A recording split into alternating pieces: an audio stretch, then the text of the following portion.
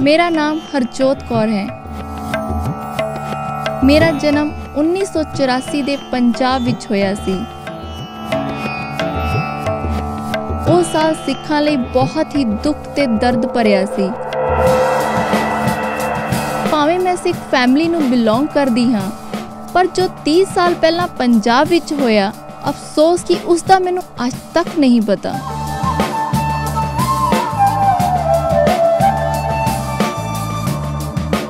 ਪਿਛਲੇ 1 ਸਾਲ ਤੋਂ ਮੈਨੂੰ ਥੋੜਾ ਥੋੜਾ ਪਤਾ ਲੱਗਣਾ ਸ਼ੁਰੂ ਹੋਇਆ ਤੇ ਮੇਰਾ ਇੰਟਰਸਟ ਹੋਰ ਵੱਧਦਾ ਗਿਆ।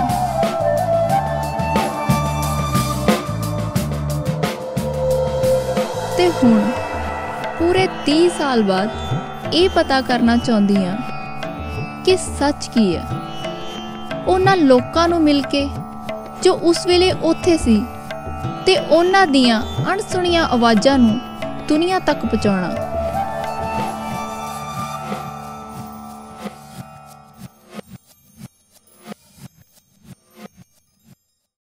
ਤਕਰੀਬਨ ਸਭ ਨੂੰ ਇਹ ਪਤਾ ਕਿ ਆਪਰੇਸ਼ਨ ਬਲੂ ਸਟਾਰ ਵੇਲੇ ਦਰਬਾਰ ਸਾਹਿਬ ਤੇ ਕਾਲ ਤਖਤ ਤੇ ਹਮਲਾ ਹੋਇਆ।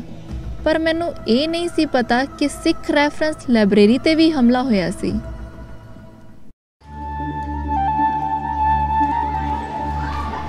ਇਸ ਬਾਰੇ ਹੋਰ ਜਾਣਨ ਲਈ ਮੈਂ ਇੱਕ ਖਾਸ ਆਈ ਵਿਟਨੈਸ ਨੂੰ ਮਿਲਣ ਲਈ ਆਈ ਹਾਂ।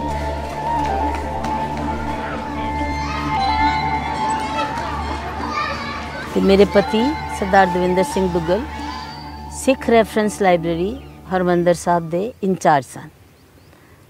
1984 ਵਿੱਚ ਅਸੀਂ ਦਰਬਾਰ ਸਾਹਿਬ ਹੀ ਰਹਿੰਦੇ ਸੀ, ਜਿੱਥੇ ਸਿੱਖ ਰੈਫਰੈਂਸ ਲਾਇਬ੍ਰੇਰੀ ਹੈ, ਉਹਦੇ ਨਾਲ ਸਾਨੂੰ ਰਹਿਣ ਲਈ ਸਥਾਨ ਮਿਲਿਆ ਹੋਇਆ ਸੀ।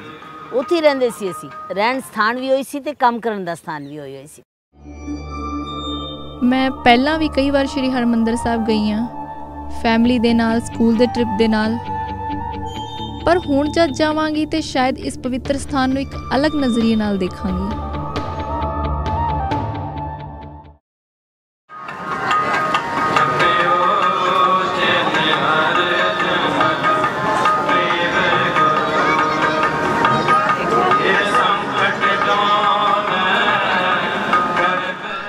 ਇਹ ਸੋਚਦੀ ਹਾਂ ਕਿ ਆਪਰੇਸ਼ਨ ਬਲੂ ਸਟਾਰ ਤੋਂ ਪਹਿਲਾਂ ਲਾਇਬ੍ਰੇਰੀ ਦੇ ਵਿੱਚ ਕੀ ਸੀ। ਲਾਇਬ੍ਰੇਰੀ ਵਿੱਚ ਗੁਰੂ ਸਾਹਿਬਾਨ ਦੇ ਹਸਤ ਲਿਖਤ ਆਦੇਸ਼ ਹੈਗੇ ਸਨ ਜੀ, ਹੁਕਮਨਾਮੇ ਸਨ। ਹਸਤ ਲਿਖਤ ਲੱਕੜ ਦੀਆਂ ਸੀਗੀਆਂ ਪੱਟੀਆਂ, ਜਿਨ੍ਹਾਂ ਦੇ ਉੱਤੇ ਚਾਂਦੀ ਦੇ ਚੜੇ ਹੋਏ ਸਨ। ਪੱਤਰੇ, ਉਹਨਾਂ ਚਾਂਦੀ ਦੇ ਪੱਤਰਿਆਂ ਉੱਤੇ ਗੁਰੂ ਸਾਹਿਬਾਨ ਦੇ ਆਪਣੇ ਹੱਥਾਂ ਨਾਲ ਲਿਖੇ ਹੋਏ ਹਸਤਲਿਖਤ ਹੁਕਮਨਾਮੇ ਸੀ ਸੰਗਤ ਦੇ ਨਾਲ। ਔਰ ਉਹ ਗਿਣਤੀ ਅਗਰ ਆਪਾਂ ਕਰ ਸਕੀਏ ਤਾਂ ਮੇਰਾ ਖਿਆਲ 200 ਦੇ ਕਰੀਬ ਜ਼ਰੂਰ ਹੋਣਗੇ। ਇਸ ਤੋਂ ਜ਼ਿਆਦਾ ਭਾਵੇਂ ਹੋਣ, ਘੱਟ ਨਹੀਂ ਹੋਣੇ। ਬਿਰਧ ਬੀੜਾ ਸੀਗੀਆਂ ਗੁਰੂ ਸ੍ਰੀ ਗੁਰੂ ਗ੍ਰੰਥ ਸਾਹਿਬ ਦੀਆਂ, ਜਿਨ੍ਹਾਂ ਦੀ ਸੇਵਾ ਹਰ ਹਫ਼ਤੇ ਹੁੰਦੀ ਸੀ। ਇਤਿਹਾਸ ਦੀਆਂ ਕਿਤਾਬਾਂ ਸੀਗੀਆਂ। ਉੱਥੇ ਪਰਸ਼ੀਅਨ ਚ ਲਿਖੀਆਂ ਹੋਈਆਂ ਕਿਤਾਬਾਂ ਸੀਗੀਆਂ, ਉਰਦੂ ਚ ਲਿਖੀਆਂ ਹੋਈਆਂ ਕਿਤਾਬਾਂ ਸੀਗੀਆਂ। ਆਪਾਂ ਇਹ ਨਹੀਂ ਕਹਿ ਸਕਦੇ ਕਿ ਉਹ ਸਿਰਫ ਇੱਕ ਧਰਮ ਦੀਆਂ ਕਿਤਾਬਾਂ ਸੀਗੀਆਂ।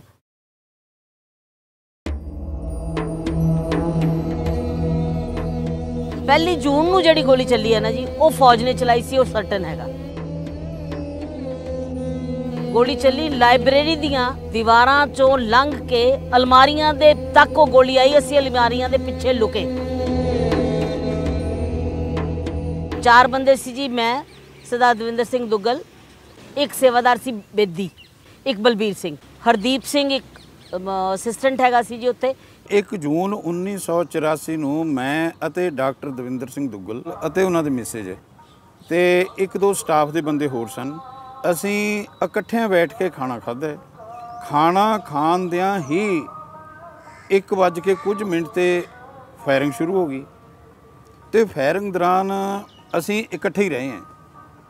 ਫਾਇਰਿੰਗ ਉਹ ਸ਼ਾਮ ਤੱਕ ਚੱਲਦੀ ਰਹੀ। ਸ਼ਾਮ ਤੱਕ ਅਸੀਂ ਉੱਥੇ ਇਕੱਠੇ ਰਹੇ ਹਾਂ। ਅਲਮਾਰੀਆਂ ਦੇ ਥੱਲੇ ਲੁਕ-ਲੁਕ ਕੇ ਸਾਈਡਾਂ ਤੇ ਲੋਹੇ ਦੀਆਂ ਅਲਮਾਰੀਆਂ ਸੀਗੀਆਂ, ਜਿਨ੍ਹਾਂ ਦੇ ਵਿੱਚੋਂ ਅਸੀਂ ਆਪਣੀ ਜਾਨ ਬਚਾਈ ਕਹਿ ਲਓ, ਜਾਂ ਗੋਲੀਆਂ ਦਾ ਨਿਸ਼ਾਨਾ ਹੋਣ ਤੋਂ ਬਚੇ।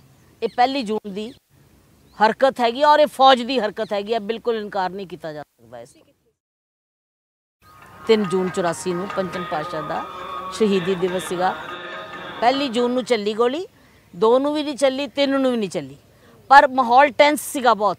ਦਰਬਾਰ ਸਾਹਿਬ ਇੰਨੀ ਕੁ ਸੰਗਤ ਸੀਗੀ ਕਿ ਤਿਲ ਸਿੱਟਣ ਨੂੰ ਥਾਂ ਨਹੀਂ ਸੀ। ਗਰਮੀ ਬਹੁਤ ਸੀ। ਮੈਂ ਲਾਇਬ੍ਰੇਰੀ ਗਈ, ਮੈਂ ਸਾਸਮ ਕਿ ਆਪਾਂ ਜਲੰਧਰ ਚੱਲੀਏ। ਕਹਿੰਦੇ, ਨਹੀਂ ਜਾਣਾ। ਜਲੰਧਰ ਨਹੀਂ ਜਾਣਾ। ਸਰਦਾਰ ਸਾਹਿਬ ਨੂੰ ਸਾਰਾ ਪਤਾ ਸੀ ਵੀ ਗੱਡੀਆਂ ਬੰਦ ਹੋ ਗਈਆਂ, ਕਰਫਿਊ ਲੱਗ ਗਿਆ। ਮੈਨੂੰ ਨਹੀਂ ਦੱਸਿਆ ਉਹਨਾਂ ਨੇ। ਇਹ ਸੋਚ ਕੇ ਵੀ ਸ਼ਾਇਦ ਪੈਨ ਕੀ ਹੋ ਜਾਏਗੀ ਜਾਂ ਕਿੱਦਾਂ ਹੋਏਗਾ। ਮੇਰੇ ਨਾਲ ਕੋਈ ਗੱਲ ਨਹੀਂ ਹੋਈ। ਇਹ ਕਰਫਿਊ ਬਾਰ-ਬਾਰ ਸੀ। ਹਾਂਜੀ, ਕਰਫਿਊ ਜ਼ਰੂਰ ਸੀ, ਬਾਹਰ ਸੀ। ਕੁਰਬਲ ਕੁਰਬਲ ਮਚ ਗਈ। ਜਿੰਨੇ ਲੋਕੀ ਸੀਗੇ ਉਹਨਾਂ ਦਾ ਬਾਹਰ ਜਾਣਾ ਬੰਦ ਹੋ ਗਿਆ। ਹਰਮੰਦਰ ਸਾਹਿਬ ਇਤਨੇ ਲੋਕ ਬਾਹਰ ਜਾਣ ਦਾ ਕਿਸੇ ਨੂੰ ਅਲਾਉਡ ਹੀ ਨਹੀਂ। ਕੋਈ ਜਾ ਹੀ ਨਹੀਂ ਸਕਦਾ। ਹਰਮੰਦਰ ਸਾਹਿਬ ਤੋਂ ਬਾਹਰ ਬਾਹਰ ਨਹੀਂ ਨਿਕਲ ਸਕਦਾ। ਕਰਫਿਊ ਲੱਗ ਗਿਆ ਜੀ। ਗੋਲੀ ਚੱਲਣੀ ਸ਼ੁਰੂ ਹੋ ਗਈ। ਜਿਹੜਾ ਬਾਹਰ ਜਾਂਦਾ ਸੀ ਉਹਨੂੰ ਉਹ ਸ਼ੂਟ ਕਰਦੇ ਸਨ। ਆਰਮੀ ਵਾਲੇ। ਸ਼ਾਮ ਪੈ ਗਈ। ਬਹੁਤ ਗਰਮੀ ਸੀਗੀ ਰਾਤ ਨੂੰ। ਅਸੀਂ ਬਾਹਰ ਮੰਜੇ ਢਾ ਲਈਦੇ ਸੀ ਜੀ। ਸਵੇਰੇ ਜਦੋਂ ਮਹਾਰਾਜ ਦਾ ਵਾਕ ਲਿਆ ਗਿਆਨੀ ਜੀ ਨੇ ਨਾਲ ਦੀ ਨਾਲ ਬਲਾਸਟ ਹੋਇਆ। ਇਸ ਤਰ੍ਹਾਂ ਦਾ ਬਲਾਸਟ ਮੈਂ ਜ਼ਿੰਦਗੀ 'ਚ ਨਹੀਂ ਜੀ ਸੁਣਿਆ ਸੀ। ਐਦਾਂ ਲੱਗੇ ਵੀ ਸਾਰੀ ਬਿਲਡਿੰਗ ਥੱਲੇ ਆ ਜਾਣੀ ਹੈ ਬਲਾਸਟ ਬਹੁਤ ਜ਼ੋਰ ਦਾ ਸੀਗਾ, ਬਹੁਤ ਜ਼ਬਰਦਸਤ ਧਮਾਕਾ ਸੀ। ਮੰਜੇ ਚੁੱਕੇ ਅੰਦਰ ਕਰ ਲਏ। ਦੋ ਕਮਰੇ ਸਾਡੇ ਕੋਲ। ਜਰਾ ਜਿੰਨਾ ਦਰਵਾਜ਼ਾ ਖੋਲੀਏ ਠਾ ਗੋਲੀ ਆਏ ਸਾਹਮਣੋਂ। ਦਰਵਾਜ਼ਾ ਬੰਦ ਕਰ ਲਈਏ। ਗੋਲੀ ਚੱਲਣੀ ਸ਼ੁਰੂ ਹੋ ਗਈ, ਬੰਦੇ ਮਰਨੇ ਸ਼ੁਰੂ ਹੋ ਗਏ। ਉੱਥੇ ਮਰ ਗਏ, ਉੱਥੇ ਮਰ ਗਏ। ਕਿੰਨੇ ਲੋਕੀ ਚੀਕਾਂ ਮਾਰ-ਮਾਰ ਮਰੇ, ਕਿੰਨੇ ਲੋਕੀ ਥੱਲੇ ਡਿੱਗੇ। ਸਰੋਵਰ 'ਚ ਡਿੱਗੀਆਂ ਲਾਸ਼ਾਂ ਲੋਕਾਂ ਦੀਆਂ। ਤੁਸੀਂ ਅੰਦਾਜ਼ਾ ਲਾਓ, ਇੱਥੋਂ ਇਸ ਤੋਂ ਜ਼ਿਆਦਾ ਹੋਰ ਕੀ ਅਮ, ਘਿਨਾਉਣਾ ਪਾਪ ਹੋ ਸਕਦਾ। ਚਾਰ ਨੂੰ ਵੀ ਸਾਰਾ ਦਿਨ ਚਾਰ ਦੀ ਸਾਰੀ ਰਾਤ ਪੰਜ ਨੂੰ ਟੈਂਕ ਵੀ ਆ ਗਏ ਨੇ ਅੰਦਰ। ਪੰਜ ਦਾ ਸਾਰਾ ਦਿਨ ਪੰਜ ਦੀ ਸਾਰੀ ਰਾਤ 6 ਨੂੰ ਸ਼ਾਮ ਨੂੰ 5 ਵਜੇ ਤੱਕ। ਦੇਖੋ ਤੁਸੀਂ ਗੋਲੀ ਚੱਲਦੀ ਰਹੀ ਬਰਾਬਰ। ਫਿਰ ਅਨਾਉਂਸਮੈਂਟ ਹੋ ਗਈ ਕਿ ਜੀ ਕਰਫਿਊ ਬੰਦ ਹੋ ਗਿਆ। ਕਰਫਿਊ ਖੁੱਲ ਗਿਆ ਨਿਕਲ ਜਾਓ। ਮੈਂ ਜ਼ਬਰਦਸਤੀ ਮੈਂ ਹੀ ਕੀਤੀ ਵੈਸੇ ਤਾਂ ਮੈਂ ਹੀ ਕਹੂੰਗੀ ਵੀ ਮੈਂ ਹੀ ਕੀਤੀ ਕਿ ਚੱਲੀਏ। ਆਪਾਂ ਇੱਥੋਂ ਨਿਕਲ ਚੱਲੀਏ। ਅਸੀਂ ਨਿਕਲ ਪਏ ਜੀ।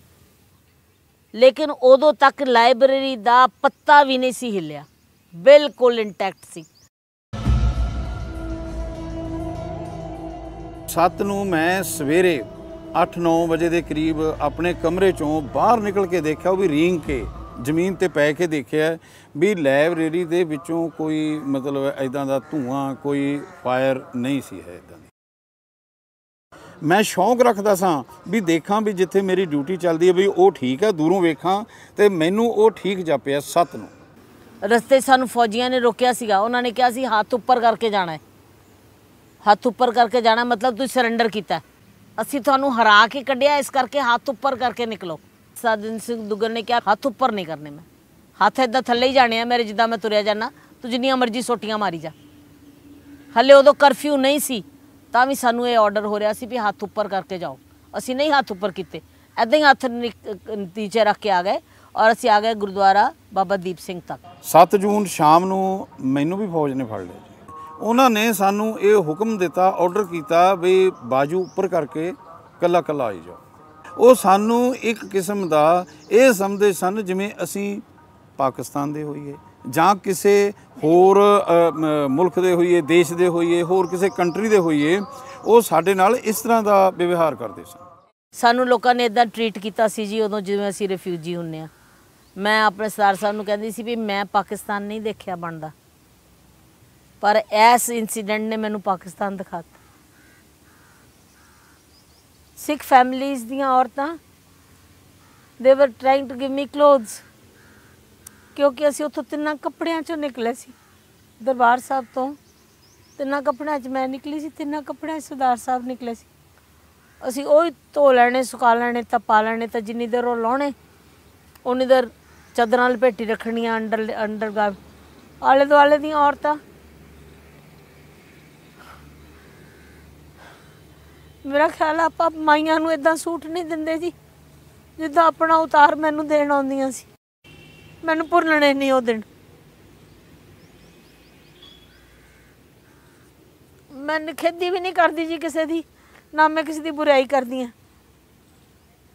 ਪਰ ਮੈਨੂੰ ਲੱਗਦਾ ਕਿਸੇ ਨੂੰ ਭੀਖ ਦੇਣਾ, ਉਹਨੂੰ ਮਾਰ ਦੇਣ ਦੇ ਬਰਾਬਰ ਹੁੰਦਾ। ਕੋਈ ਗੱਲ ਨਹੀਂ। 6 ਨੂੰ ਅਸੀਂ ਗਏ ਸੀ 14 ਨੂੰ ਅਸੀਂ ਨਿਕਲੇ 8 ਦਿਨ ਭੁੱਖੇ ਵੀ ਰਹਿ ਸਕਦੇ ਸੀ। ਤੁਸੀਂ ਪਲੀਜ਼ ਮੈਨੂੰ ਨਾ ਫੋਲੋ ਇਹਨਾਂ ਗੱਲਾਂ। ਮੈਨੂੰ ਨਾ ਫੋਲੋ ਕਿਉਂਕਿ ਮੇਰੇ ਜ਼ਖਮ ਬਹੁਤ ਤੇਜ਼ ਹੋ ਜਾਣਗੇ, ਮੈਂ ਮੈਂ ਬਰਦਾਸ਼ਤ ਨਹੀਂ ਕਰ ਸਕਦਾ। ਪਰ ਲੋਕਾਂ ਨੇ ਜ਼ਖਮ ਬਹੁਤ ਦਿੱਤੇ। ਔਰ ਉਹਨਾਂ ਨੇ ਦਿੱਤੇ ਜਿਹੜੇ ਜਿਹੜੇ ਕਹਿੰਦੇ ਨੇ ਅਸੀਂ ਸਿੱਖੀ ਦੇ ਹਮਦਰਦੀ ਆ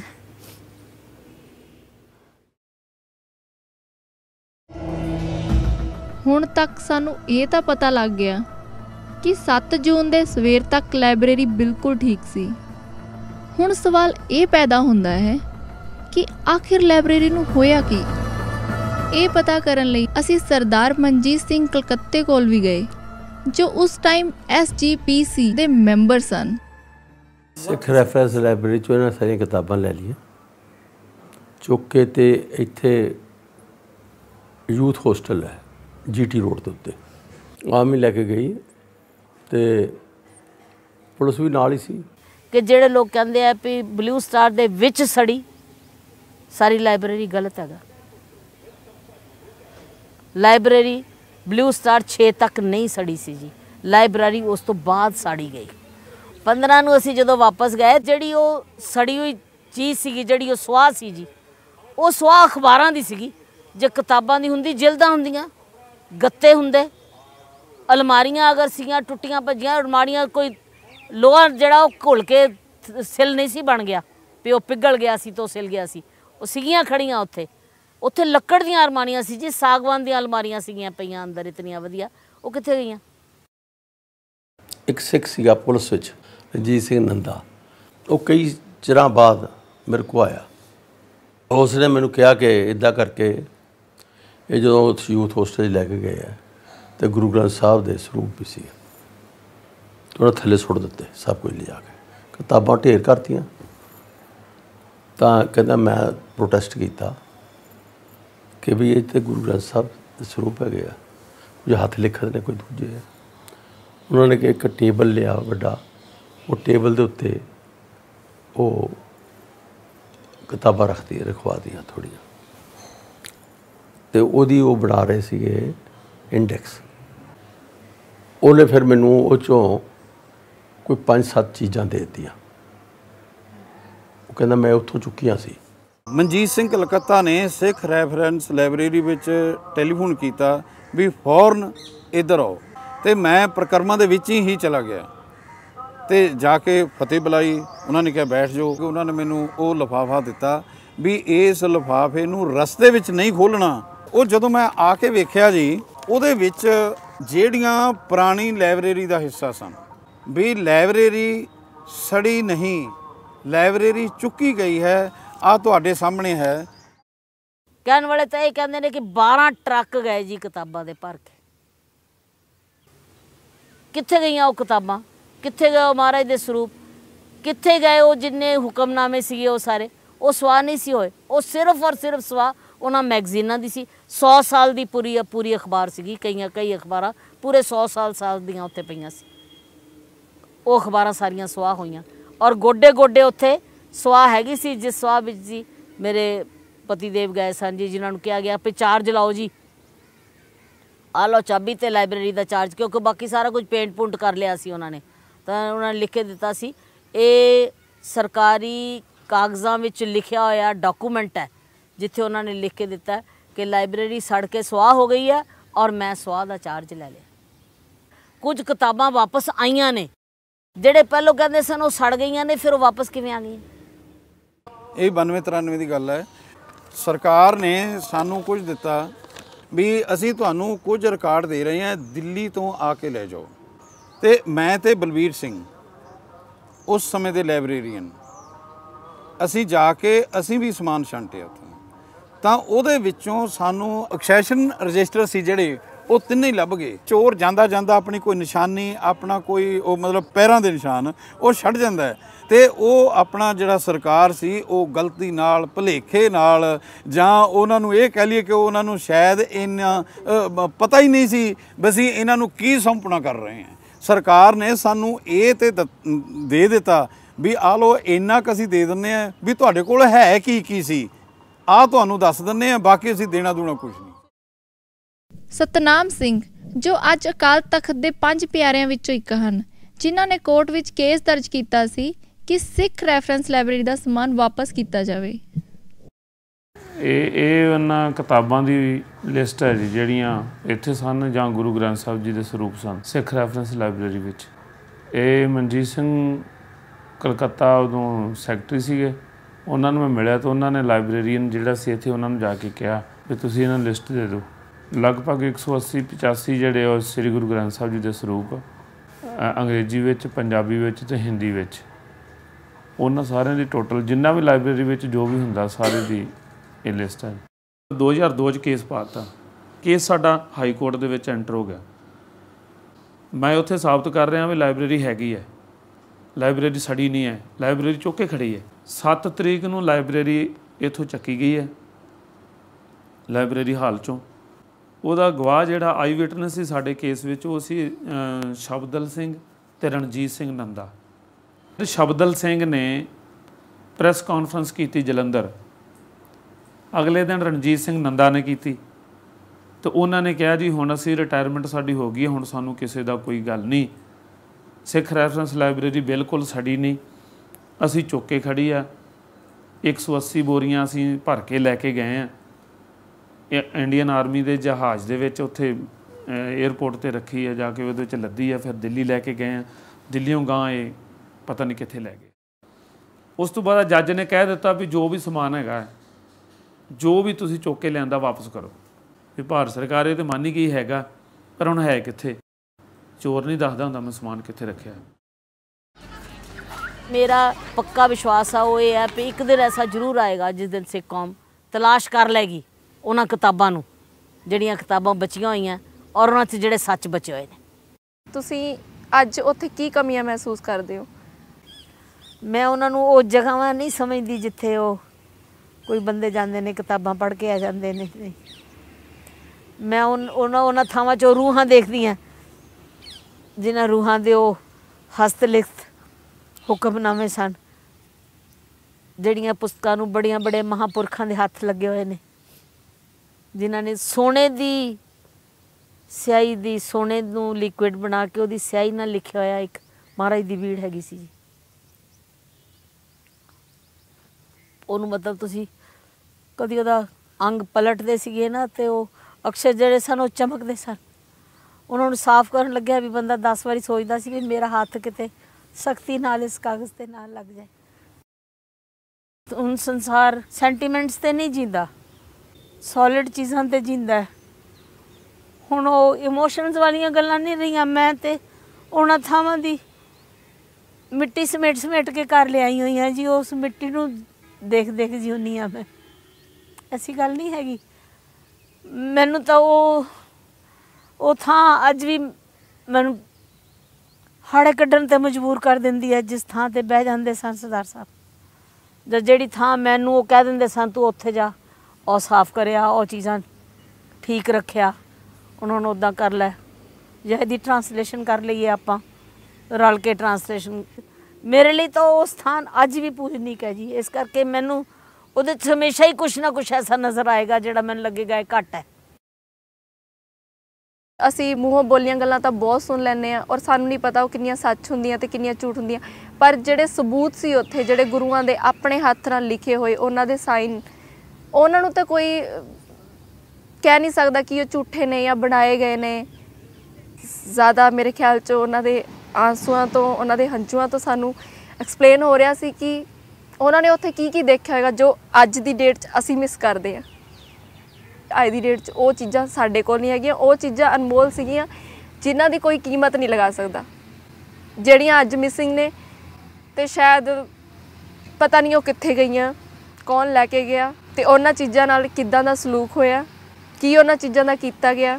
ਜਿੱਦਾਂ ਇਹਦੇ ਆਨਸਰ ਮੁੱਕ ਗਏ ਨੇ ਲੋਕਾਂ ਕੋਲ ਆਨਸਰ ਨਹੀਂ ਹੈਗੇ। ਇਸੇ ਤਰ੍ਹਾਂ ਇੱਕ ਦਿਨ ਇਹਦੇ ਕੁਐਸਚਨ ਵੀ ਖਤਮ ਹੋ ਜਾਣਗੇ। ਕੋਰਟ ਨੇ ਸਰਕਾਰ ਨੂੰ ਆਰਡਰ ਕੀਤਾ ਹੈ। ਕਿ ਸਿੱਖ ਰੈਫਰੈਂਸ ਲਾਇਬ੍ਰੇਰੀ ਦਾ ਸਮਾਨ ਵਾਪਸ ਕੀਤਾ ਜਾਵੇ। ਸਿੱਖ ਕੌਮ ਇਹ ਕੇਸ 10 ਸਾਲ ਪਹਿਲਾਂ ਹੀ ਜਿੱਤ ਗਈ ਸੀ, ਪਰ ਅੱਜ ਤੱਕ ਕੁਝ ਵੀ ਵਾਪਸ ਨਹੀਂ ਆਇਆ।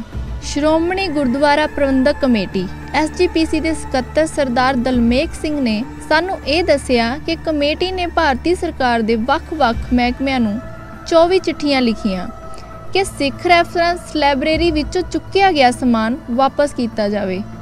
ਪਰ ਇਹਨਾਂ ਚਿੱਠੀਆਂ ਦਾ ਕੋਈ ਵੀ ਨਤੀਜਾ ਨਹੀਂ ਮਿਲਿਆ। ਹੁਣ ਸਿੱਖ ਕੌਮ ਦਾ ਫਰਜ਼ ਬਣਦਾ ਹੈ ਕਿ ਇਸ ਕੋਰਟ ਦੇ ਆਰਡਰ ਨੂੰ ਹਥਿਆਰ ਬਣਾ ਕੇ ਅੱਗੇ ਦੀ ਲੜਾਈ ਲੜਨ ਤੇ ਆਪਣਾ ਲੁੱਟਿਆ ਗਿਆ ਵਿਰਸਾ ਵਾਪਸ ਲਿਆਉਣ।